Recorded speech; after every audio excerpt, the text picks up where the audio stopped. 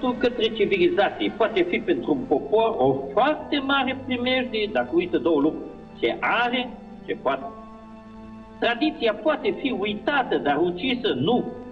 Dacă îi se taie drumul în clasele de sus, ea rămâne să se adâncește tot mai mult în cele de jos.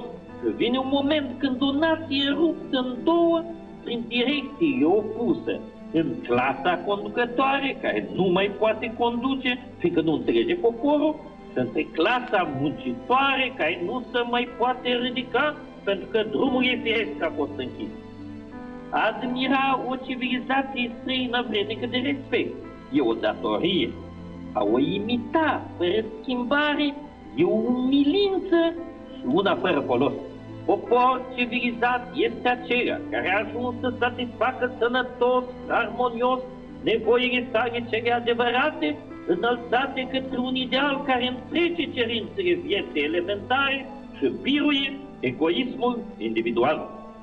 Am avut în alte împrejurări o adevărată civilizație patriarcală. Rămâne să atingem adevărata civilizație modernă, ea singură ne va permite să se glasul nostru în concertul popoarelor civilizate, fără ca el să sune fals sau pretențios.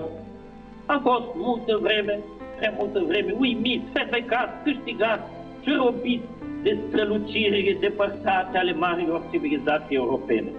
Desigur că e cald în loc unde arde focul, de la care și pentru noi sar câteva scântei în negru nopți dar e așa de lungă și de grea calea, până la vatra unde e lumina întreagă și căldura bună.